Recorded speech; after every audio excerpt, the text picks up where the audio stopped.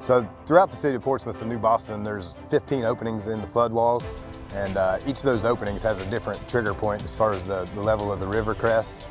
Um, once the river crests at that point, then, then it calls for those flood wall gates to be closed.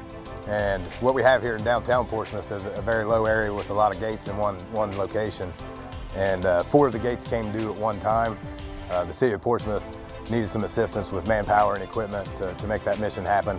So they sent a request to the uh, Ohio Emergency Management Agency to have us come down here and help them out.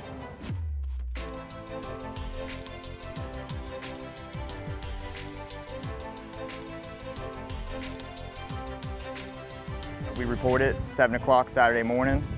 From there, we set a game plan, got our equipment ready, and transported it out here.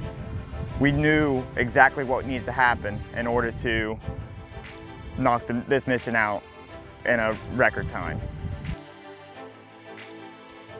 We're a, a, local unit right here in Portsmouth. It's nice to be able to come out here and serve my community. Uh, we went on several other missions throughout like hurricane reliefs and help out other states, but very rarely do we get the call to help our own community.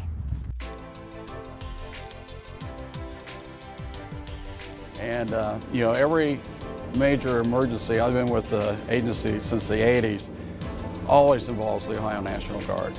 And it's just, uh, you know, we're just blessed to have, you know, such a amount of people that volunteer their time and are ready to help out their communities.